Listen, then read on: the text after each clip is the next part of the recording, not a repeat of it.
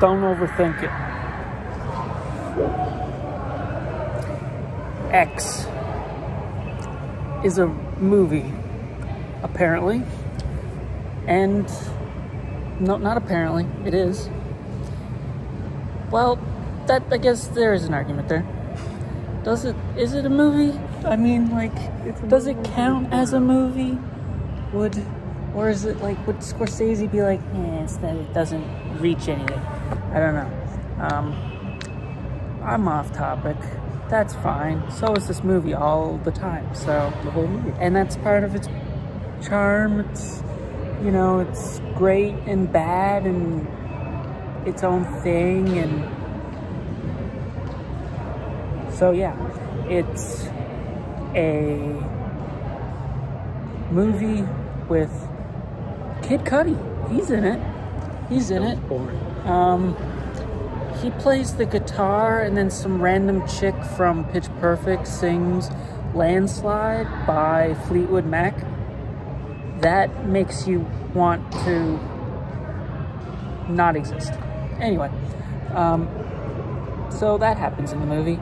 It's about filmmakers trying to make an adult film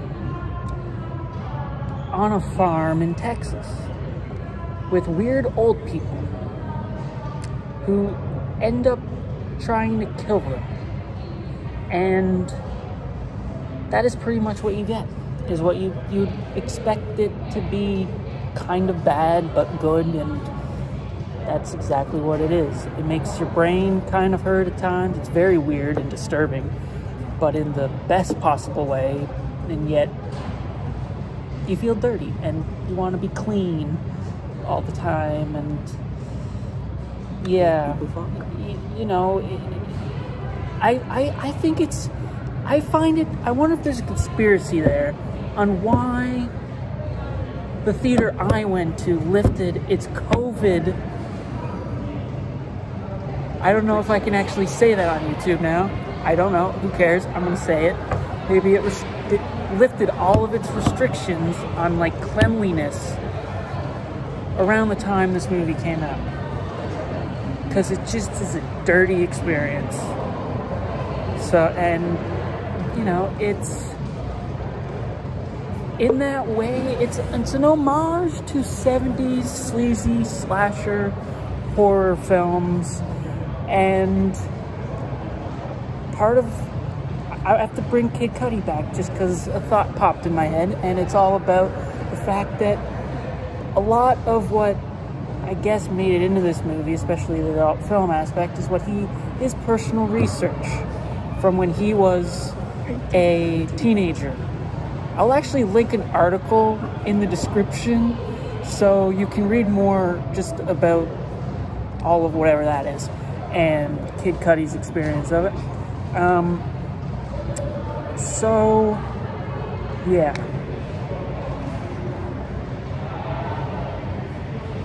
Of ten. So I am going to rate it out of 10 now. And I, I, I honestly, the more I think about it, the more 6 just works. Because it's kind of like an off version of sex, which this movie has. And it's also like a sort of good ranking, but not. Um, so it, it just, it really is this movie. This movie is 6. And it's, you know what? 6 is kind of like sick and disgusting. And this is also kind of what this is. So 6 out of 10 is 100% what this movie deserves, in my opinion. And so, yeah. Any of that resonates, see it, I guess. Maybe. I don't know. Do whatever. Hi there. Uh, I'm not Jackson, as you can see. Who are you?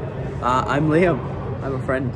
Um, yeah, I, uh, I just went to go see X. Um, it was not. It's charmingly bad. It it reminds me of a sleazy slasher from the '70s, and that felt good inside. But the movie itself was not good. I feel like if it was released in the 70s, it would be like top 10 horror movies of all time. But as it released now, it kind of hurt. As someone who enjoys 70s horror, this this was kind of like a gut, like a like a punch in the gut. Um, Kid Cudi's in it, I guess. Um, there's a lot of adult filmmaking. Poor old guy dies after saying he can't do it anymore and does it. It's fine and then moves the body two feet and just croaks. Just just folds, just slumps. So like poor Walter or whatever his name was. Shout out to my homie Walter. Um, they've ruined Landslide by Fleetwood Mac. Kid Cudi plays the guitar. Some chick from Pitch Perfect sings it. Yay. Good job.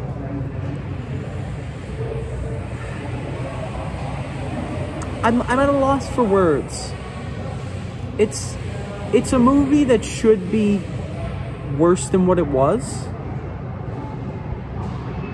Like it, that's a version of like that's a movie you'd get like direct to video. It's a direct to video movie, but yet it deserves to be in a theater. It's it's. I hate it. I, I hate it. It was a terrible movie, but go see it, please. Needless to say, this movie leaves you speechless. It knocks the words out your brain mouth socks off. So, yeah, and I think that makes sense. All right.